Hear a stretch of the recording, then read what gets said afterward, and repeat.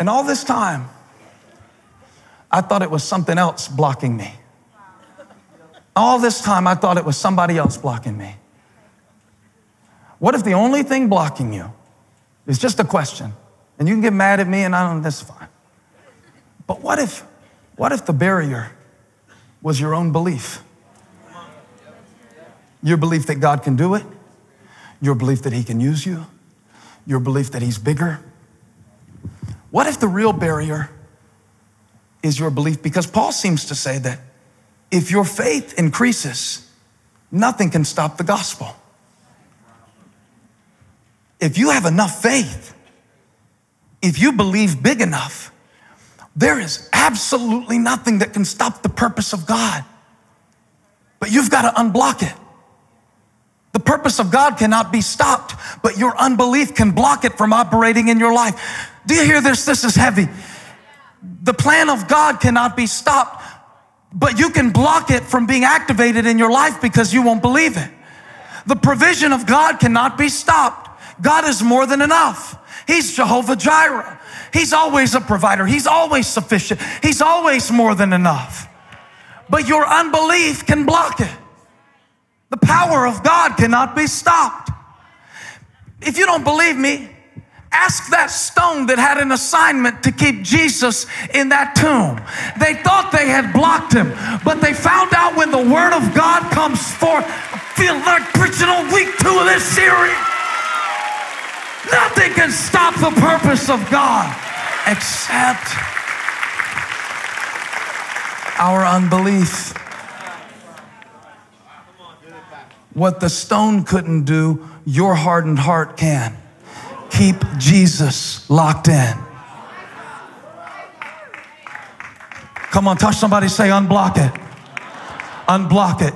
Unblock it. Tell them again, say unblock it. Look them in the eye, say unblock it. God has been trying to deliver His word to you.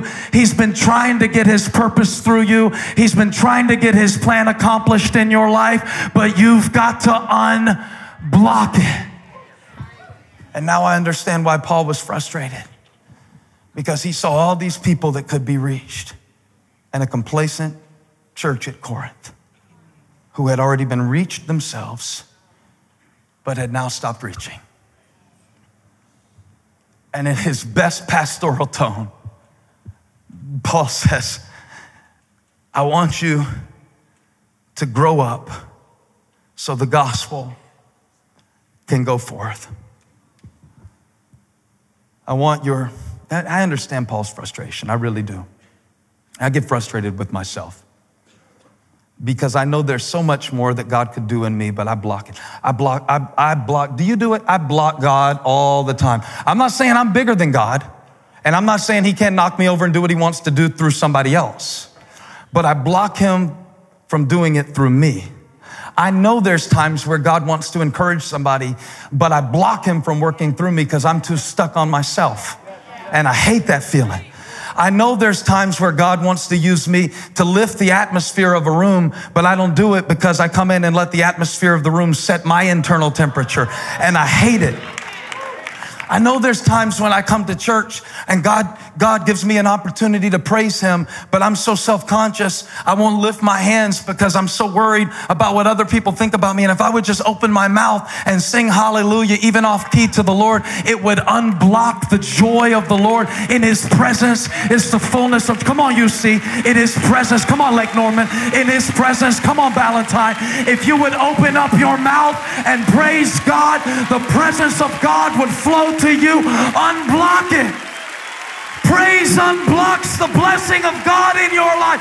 I wonder would you give him praise right now for his faithfulness, for his goodness, for his grace. Praise unblocks the glory of God. It opens up the airwaves. It opens up, it, it opens you up to receive the blessing of God. And this is why God was frustrated in the book of Malachi because the word of the Lord had gone forth, but the people had blocked it. And God has, God has been pushed to his limit with his people, not because he's, not because he's stopped loving them, but because there's so much he wants to bless them with, but they keep blocking him from blessing them. And he begs them. He begs them, unblock me, he says in Malachi 3:10. Unblock me. Bring the whole tithe into the storehouse. Bring me what is mine. And when you bring it, there will be food in my house. Put me to the test and see if I will not. Something is blocking the people from the blessing of God. It is their refusal to put God first. He said, But if you would unblock me, I would bless you. I would put it back up. I would open the windows of heaven. There's no shortage of supply. But you keep blocking me. There's no shortage of joy, but you keep blocking me. There is no limit to how many people we can reach.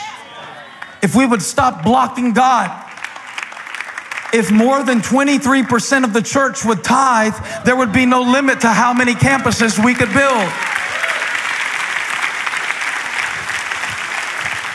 But every week, when that word goes forth, you know, that offering time, we just keep blocking God. No, I'll do that other stuff. I'll lift my hands extra high.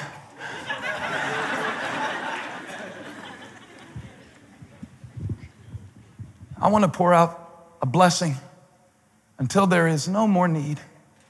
One translation says that you won't have room enough to receive it. Remove the block, receive the blessing. Remove the block, receive the blessing. God doesn't want you to be blocked. It's the worst thing in the world to love somebody and they won't receive it. Have you ever tried to love somebody and they wouldn't receive it? Have you ever tried to help somebody and they wouldn't receive it? Have you ever tried to encourage somebody, but no matter what you said, they wouldn't receive it? They were blocked. And God says, I've been trying to get some things to you. I've been trying to do some things in you. I've been trying to push back the boundaries and blow apart your box of what you think life can be. But you keep blocking me because you won't believe. But if you would just come to Him in childlike faith, and open your heart and open your life. I believe in this season, God is unblocking some things. I believe there are some blessings that God is going to unblock in your family and in your life. Some blessings, some borders, some boundaries that God is going to push back and pour out a blessing that you won't have room to receive it. I don't know if you believe this kind of preaching. You can block me if you want to, but if you receive it and if you believe that He's able to do immeasurably more than you, come on, unblock it right now. When you clap your hands, you unblock your pride. Come on, unblock your heart. Give God praise in this place.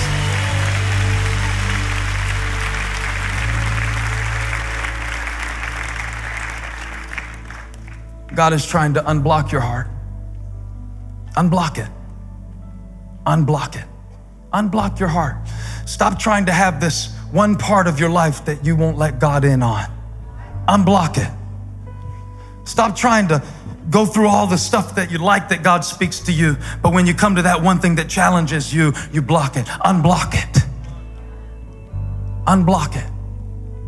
Stop being so prideful and don't let people help you. The very people that God sent to help you, you keep on trying to be so self sufficient, and God is trying to answer your prayer, but you keep blocking it. Unblock it.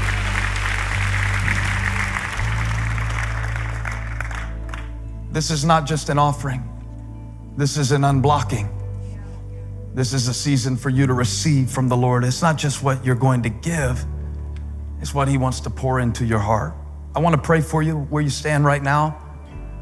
I feel the presence of God in this place, and I feel that the word has gone forth with clarity. And even that God has spoken some things through me that I didn't even say, but He said to you through what I did say. And I believe He knows exactly where those blockages are, exactly where those places are. And it's frustrating to your father when he has so much to give, but you don't give him enough room. God is enlarging you now. He wants to enlarge your heart. He wants to enlarge your vision. He wants to enlarge your perspective. He wants to enlarge your world. The world of the generous gets larger and larger. The world of the stingy gets smaller and smaller. We don't put God in a box, we put ourselves in a box, and we can't receive what He has to give. But this is a season to take the lid off. That's what happens under an open heaven in the presence of God. And the presence of God is in this place with your heads bowed and your eyes closed. I want to pray for that place in your heart, that priority in your heart, that thing in your heart that you need to give over to God. It very well may be the financial part, it very well may be a relational issue. Maybe something that you need to surrender to God or a place where you need to be authentic, where you've been fake. God knows what's blocking you. And it'd be a shame for you to have so much to give but be blocked. Writer's block is nothing compared to believer's block. When believers get blocked, the gospel doesn't go forth and the purpose of God isn't fulfilled through your life. And there's so much God wants to do through you, but you got to let Him in. And you can only let Him in with open hands and an open heart. Would you lift your hands to heaven right now? Repeat this after me Father God, I open my heart.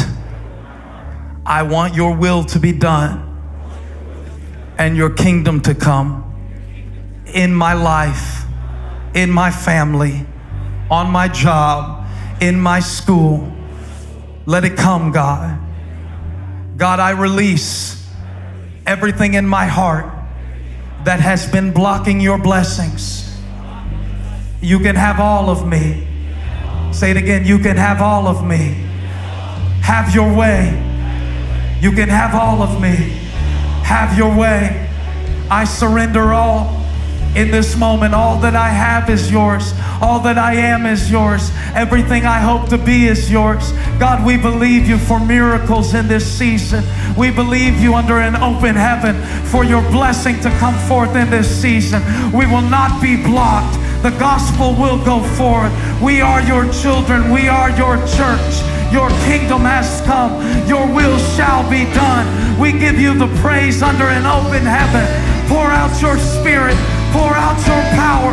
Oh Lord our God, let it fall right now. Fall fresh, Holy Spirit. Have your way, Lord God, in Jesus' name. Hey, thanks for stopping by my YouTube channel. I hope you were blessed today. If you were, share this with somebody. Like and subscribe and leave me a comment. Let me know where you're watching from, what we can pray for you about. Hope to see you back here again really soon.